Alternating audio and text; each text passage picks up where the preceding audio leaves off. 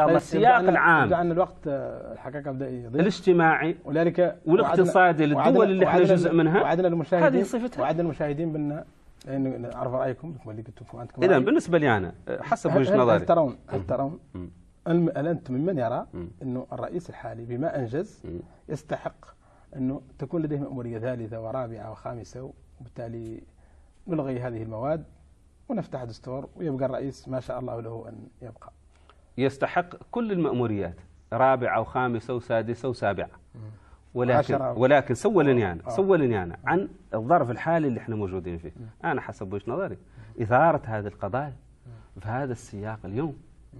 وفي ظل التحديات اللي يعاني منها الدو... تعاني منها الدولة الموريتانية تواجه الدولة الموريتانية تحدي الأمن. محفوفين بعدو يتربص بين الدوائر.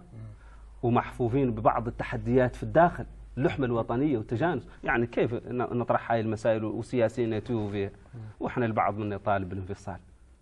يا أخي هذا هذا هذا هو اللي أنتي كونستيسيونيل هذا هذا هذا متعارض ضد الدستور. هذه التحديات حسب وجهة نظري أولى من ان تلاقوا نتحدثوا بعد قاع في المأموريات ورئيس موريتانيا في الفترة الحالية والفترة المقبلة لا اعطيك مواصفات لا بغيت تقول عنه عبد العزيز. رئيس قوي. لا يحمل الهم الأساسي والتحدي الأساسي اللي هو تحدي الأمن. شوف راني تحدي الأمن. آه. درته قدام التنمية. للاسف إنه الوقت والتحدي الثاني العدالة التوزيعية. والتحدي الثالث تحدي التنمية. الرئيس لا يحقق هذه التحديات أنا حسب وجهه نظري. الشكل السياسي وينقال عن موريتانيا ديمقراطي لأنه هذه كلها أنت تعرف المسار اللي فرضت به الديمقراطية على دول العالم الثالث والدول اللي عندها سيادة حقيقية. ما تحدد شكل سياسي ما هو متناسب مع واقعها. إذا إذا بخلاصة لا ترون أنه تعديل الدستور الآن أولوية الآن بالنسبة لموريتانيا أنا بالنسبة لي مسألة مغلوطة من جهتين.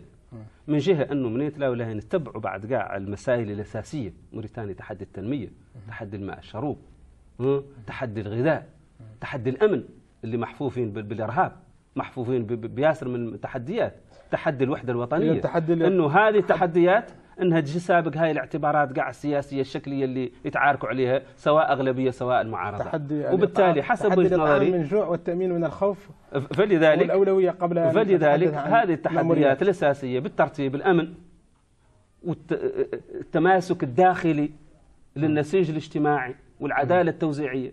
والتحدي الثالث هو تحدي التنمية أنا حسب وجهة نظري كل هاي التحديات وكل الأولويات للدول تتحدد من السياق اللي هي فيه من اللحظة اللي هي موجودة فيه. والتحدي الأساسي بالنسبة لي بكل بساطة ظاهر ما هو نقعدوا عندنا غرفتين. ما هو نتباركوا ونتفقوا على شكل حياة سياسية إحنا قاع ما حصلنا ما هي موافقة فلذلك إن نعملوا على تطوير هذه البنية الاقتصادية، منين نرفعوا هذه البنية الاقتصادية والبنية الاجتماعية للدولة والمجتمع؟ هذه الدور تفرز لنا بالتدريج شكل سياسي يعود أكثر تلائم مع واقعنا واقعنا الحضاري. انتهى الوقت المخصص لهذه الحلقة. نجدد لكم الشكر دكتور البكاي على مشاركتكم معنا والشكر للطاقم الذي أشرف على إنجاز الحلقة ولكم مشاهدينا الكرام جزيل الشكر وإلى حلقة قادمة. استودعكم الله. السلام عليكم ورحمة الله وبركاته.